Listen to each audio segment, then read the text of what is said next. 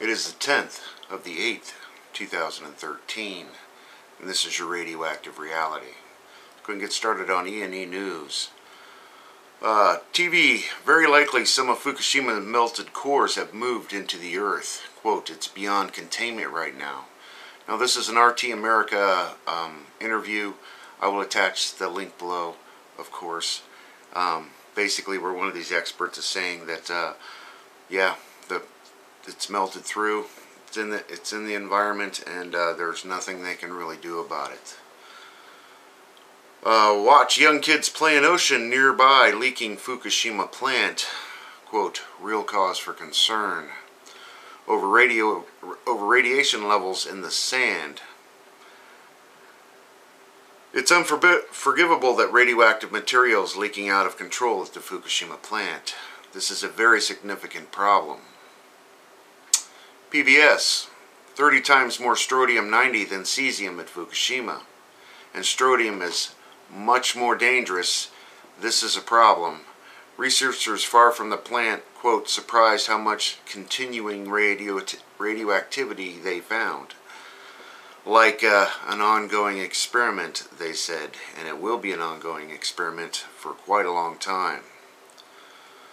Louisiana Bayou Corne, official films burp event at giant Louisiana sinkhole. Intense bubbling across several large areas. Um, that situation is not going anywhere anytime soon. It has a very long way to go. Senior scientists plume of Fukushima nuclear material from March 2011 to hit U.S. West Coast within a year. Will go on for years as contamination has been released since the disaster has begun.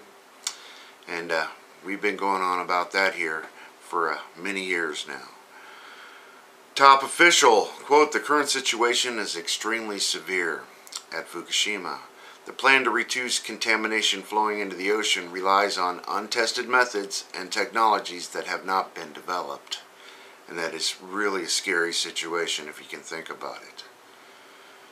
Twice as much contaminated water entering ocean from Fukushima as officials claim, question mark. I would say probably more like 10 times or more.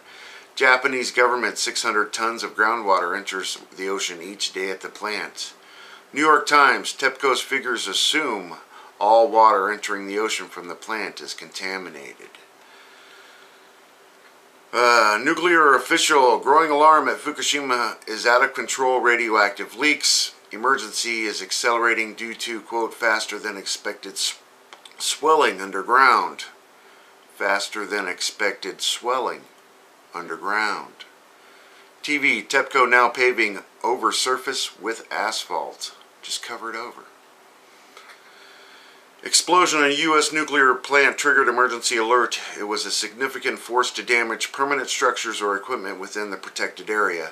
Um, and that's uh, Shearon Harris again, where they had the, the electrical council blow up and uh, cause some damage.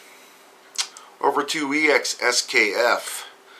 300 tons. Didn't the Japanese government just say 600 tons? 300 tons of contaminated water leaking from Fukushima 1 nuke plant. Quote, it's just an assumption, states uh, says an energy official.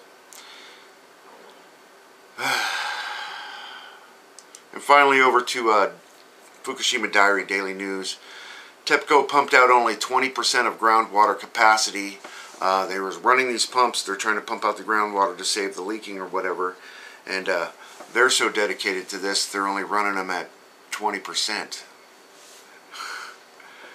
Japan is discharging contaminated water or can't stop the leaking, question mark. Both. Let's not forget that they are burning radioactive debris in open incinerators as well. Uh, civil engineer warned in 2012 about the shortage of water storage and the potential land substance.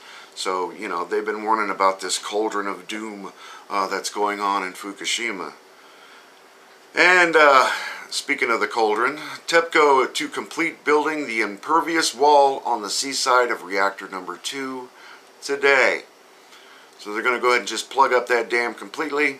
It's already overflowing in spots. And uh, they're talking about freezing it. And uh, that's about all I got for you today. Of course, if I missed anything, please let me know. Attach your videos or comments below. Enjoy while you can. Thanks.